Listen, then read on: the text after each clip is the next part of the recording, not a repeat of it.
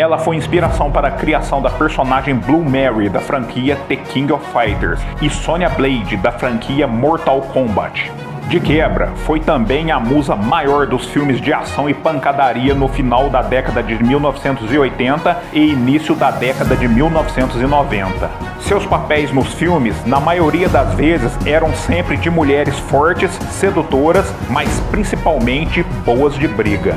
Seus movimentos perfeitos, golpes realistas e sua elasticidade ao aplicar chutes fizeram com que conquistasse fãs pelo mundo todo.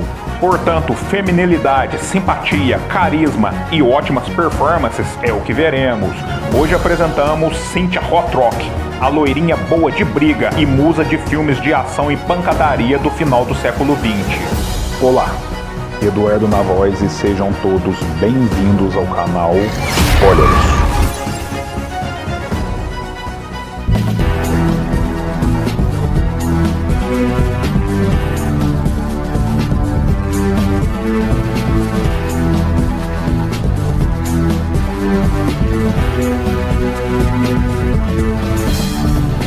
Cynthia Rothrock nasceu no Dia Internacional da Mulher, ou seja, em 8 de março e no ano de 1957. Essa loira de olhos azuis e jeitinho meigo pode enganar bastante marmanjo por aí com seu jeitinho de menina. Mas não se enganem, pois essa mulher é uma fera e um furacão em se tratando de artes marciais. Eu digo isto pelo fato da mesma ter sido cinco vezes campeã mundial de karatê performático e de exibições, utilizando-se também de armamentos. Nascida na cidade de Wilmington, Delaware, nos Estados Unidos, seus campeonatos mundiais ocorreram entre os anos de 1981 e 1985.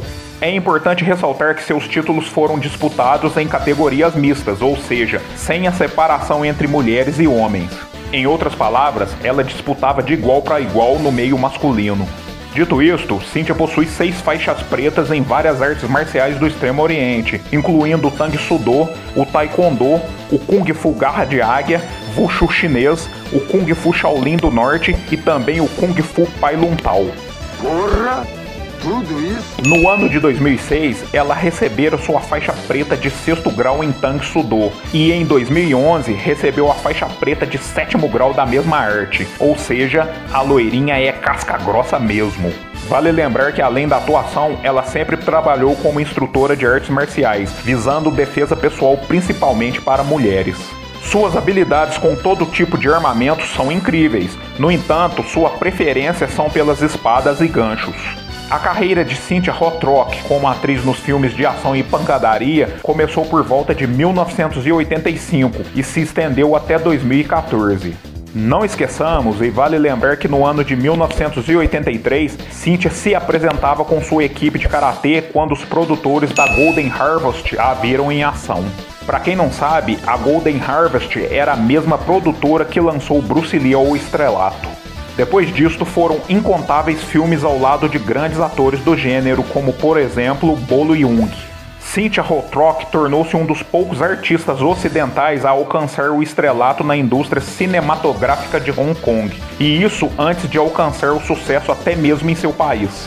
Hoje em dia, esbanjando uma ótima forma e gozando de boa saúde, ela ainda dá aulas de autodefesa e é proprietária de um estúdio de artes marciais lá na Califórnia. Cynthia sempre é vista em eventos de artes marciais ou do gênero, sendo bastante procurada para participar de campanhas e merchandising sobre o assunto. Sendo assim, ela viaja o mundo todo se apresentando em convenções de cinema de ação, e caso apareça algum papel em um longa de ação, Cynthia está sempre disponível a atuar novamente. Sua única filha, Skiller Sofia Rothrock, se orgulha bastante da sua mãe lutadora.